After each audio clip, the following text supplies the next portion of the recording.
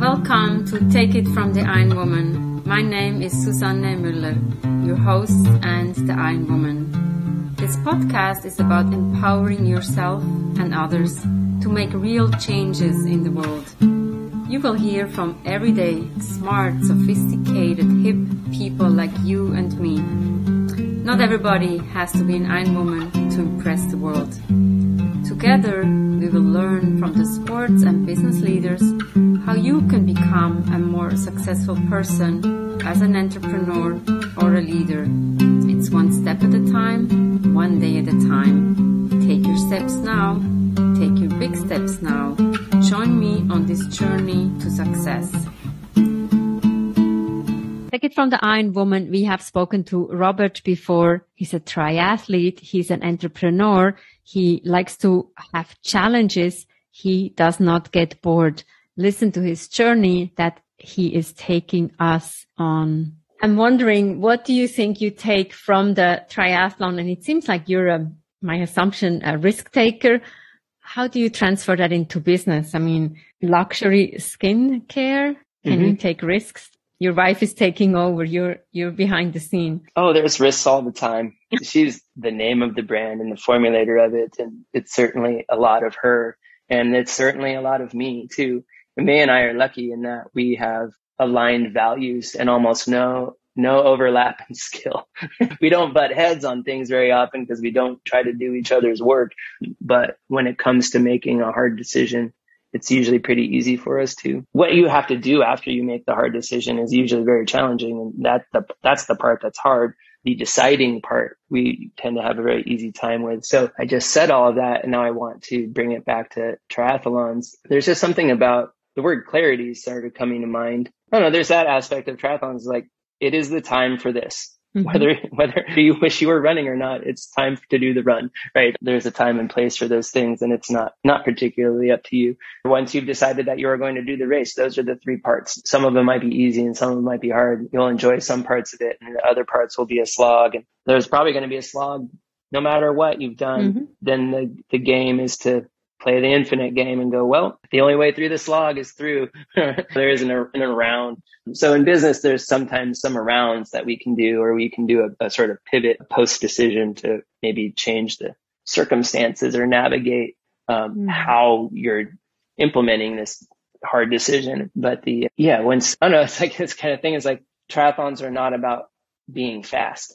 Actually, they're a curious thing for me because in almost, almost all of my other athleticism, I'm I'm very competitive or, or that competitive drive was a helpful thing for me. I noticed that in triathlons, that was completely gone. I had almost no competitiveness at all, except for, except maybe in the last hundred yards of the run. It's like, well, I can be, I know I've got enough juice for a hundred yard sprint. I think is there's something about that, that swim where like it mentally is like, well, I'm, I'm not trying to be a professional triathlete. I'm trying to like do something that's hard and like know that I can do it. Yeah. So I guess in that sense, inventing, generating a company out of nothing in a room mm-hmm. at my house. And now a decade later, having a bunch of employees and a global sort of footprint in the clean skincare industry. And that's been hard too and, and very worth all of the challenge. Congratulations. It's not so easy to break into the skincare when we see all those uh, big companies, it's important to have a, a, good brand that speaks to others. I looked at your website and it's amazing. And I'm like, must smell beautiful. yeah. yeah. If it, if it looks good, I, I, wish you could feel and feel and smell it. It's all a very sensorial experience. That reminds me of another triathlon thing is like you talk about everyone should just run their own race. Mm-hmm. It's all the same course, but it's like for me, I was predominantly competing against myself is usually what I was doing. And so I was running my own race. And, and that's, I think the thing that May and I take great pride in is almost to a fault. We don't do things because it's the way other people do them. If someone suggests something that way, this is the industry standard or something, there's legal requirements and things yeah. like that. And within, within the bounds of legal requirements, we do the legal requirements. But when there's a sense of, oh, this is how customer service is done, or this is how I don't care at all how other people do it unless you're sharing that with me because it's the best possible way to do it. And then I'm very interested. We've I been like running our own race. a long time now. The beauty of that is, and again, I've said values a lot, but if you're making hard calls that are consistent with your values and it doesn't go right, as we talked about in the you know, Alt MBA, a good decision is independent of a good outcome. Knowing that if one of the hallmarks of a good decision is that it's in alignment with your values. So if you have a good decision that's aligned with your personal what's it for and it doesn't work out outcome wise, you just learn something right? There mm-hmm. isn't like a sense of shame or you're not going to blame. You don't get to blame somebody else's mm-hmm. idea for your decision. That's one of the beauties of calling your own shots. It's one of the downsides is you don't have someone else to blame. We just did what the marketing people said everybody else does because then you can just make it be about them instead of about the fact that that was what you chose to do. Yeah. So there's some kind of extreme responsibility that can come in there and there's some problematic internal communication that can happen when that doesn't go well. The, yeah, in the long run, I don't know how else to go about making decisions that are, especially, yeah, especially as the stakes grow and it's got 30 families to think about and all my employees and how decisions we make ripple through their lives and our mm-hmm. clients and all of that. There's a lot of it's a small little company by lots of measures and then also much bigger than May and I ever imagined it really being. It's an interesting tension to operate between those things. How many employees do you have now? We currently have 26. It's a small company. It's not only you and your wife.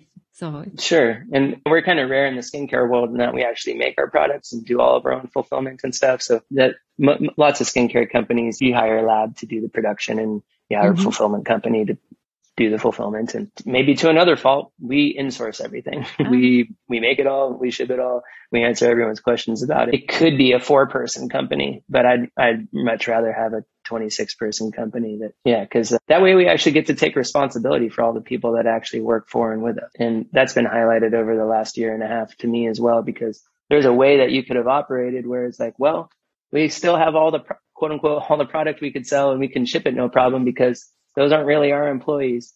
And it's not our problem to worry about whether they stay safe or get sick or whatnot or how they are treated at that other job that they have. That's another reason why sort of on purpose we try to keep everything because then we can know how much people get paid and that they mm-hmm. have health care and that all of the things that people, I don't know, that I think are, are, I believe a lot in Maslow's hierarchy and like, if you operate in a, in a culture where if you've created a job that doesn't satisfy the base of the pyramid, then you haven't really created a job.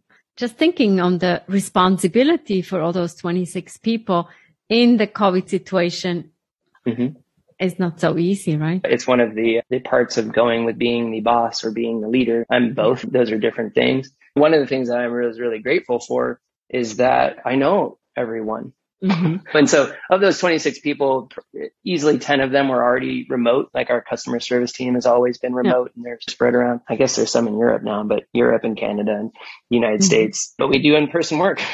we got to look at each person who would come to the studio and it's like, well, can you be safe at home? Mm-hmm. Can you mm-hmm. get here safely? Because once you're here, that's like, I can work on the, whether you're safe here or not. We got to do that sort of continuity check yeah. to everyone. We have some single parents it's like, okay, well, there's no, you can't come. There's no childcare. Because you yeah. need to watch your child and like, mm-hmm. and sure, we could maybe figure out how to set that up. But for now, our definition of we is going to already includes you. And so a way that we're going to readjust that is we're all going to work so that you can stay home and be paid completely and have health care. And we're going to figure out how to get you groceries and you aren't mm-hmm. penalized for not being married yeah. or for having had a child.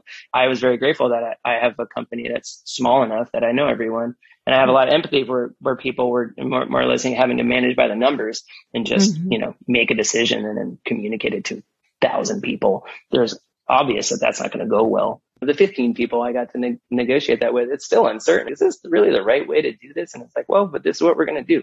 We're going to take care of each other. We, we did in-person work the entire time. It was very few people in the sort of the beginning times because we didn't have a single COVID case in our team. We had COVID cases like within families, family members of our teammates. And so we would quarantine or we would get them somewhere else to stay so that they didn't have to quarantine in a home with someone that had COVID and just hope that it didn't, you know, cruise around the door while their, wow. their sister or their mother or whoever it was navigating their their illness. And I feel very grateful. And that, yeah, that's another thing. It's like I was checking my thinking constantly. It's like, do I feel comfortable and good about the things that the decisions we've made because no one has gotten sick yet? Will I still think that if one person gets sick or when all of them get sick or anything in between or when someone dies? What will I think that I made good decisions then? I luckily don't know. I did not.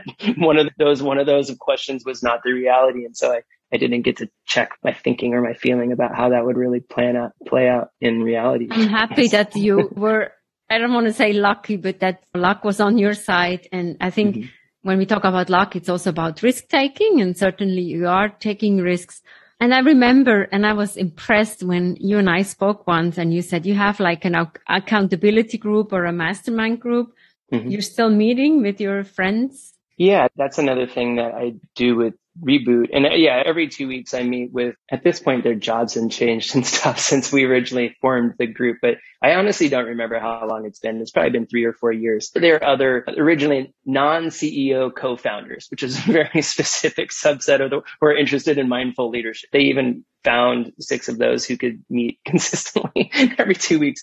But yeah, that's been a, a helpful resource for again, thinking about my own thinking and questioning yeah, it because yeah. I can be my own little echo chamber. Yeah. I hold status and sort of power over my employees and, you know, and stuff. Would, would they say no and go, that's mm-hmm. a bad idea? Like, I hope so. Maybe not. Mm-hmm. Having lots of different sources of, of input and feedback and different perspectives is really helpful. And, and that, that group's a pretty consistent source of, of information for me like that. So is that you how you recharge your batteries and get like different perspective from that group? That is probably the most con- one of my more consistent mo- points of self care. like I'm in the self care industry, but I'm very like not good at, or I would not describe myself as good at self care, but I'm a very social person and a very curious person that every two, that hour and a half every two weeks, like honestly, like the, as social as I am, but with my work and my family, like my world's honestly pretty small outside of, if you're not, if you don't live in my house and work with me, like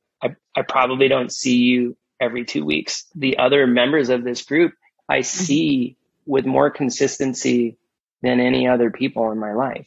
I'm a That's little embarrassed by it though too. Like I would like to have more close friendships or that sort of sort of vibrant community where that wouldn't be true, but it's true for now. The space mm-hmm. that those those people, I guess it's all men now, but it's varied over the years that those, those colleagues have held for me. Well, I think it's important to have that support in a way, and you have established that for over the years. It's when you are in the C-suite, and I know it's lonely, and as you said, your employees, your wife, your family, and that's mm-hmm. about it. And with the COVID situation, it's even getting smaller, it feels like. Yeah, that group mostly serves to as evidence that I'm not alone. My company is a fantastic piece of evidence of that on a daily basis, which is funny because my mind still has this narrative and script of like, oh, only I can do this or only I can fix this or some false constraint like that. I will be thinking that on a call like this if I happen to, there aren't really offices in our building, but there's, there used to be one and it had glass. And it's like, if I look out that glass, there are 20 people helping me every day yeah. without me telling them anything. I don't yeah. tell them what to do. Like they know what to do. My work is a beautiful counterexample to some of the thoughts that and some of the scripts that run in my head. Yeah. But that's about the, the mindful leadership, right? You don't, you're not telling the people what to do. It's like a well-oiled team. When I listen to you, what comes to my mind is also that people want to work with you. That seems to be the case. Yeah. The, one of the things that I'm really grateful for about our company is I, I don't know the actual number, but probably the average length of time that someone has worked for us is four years.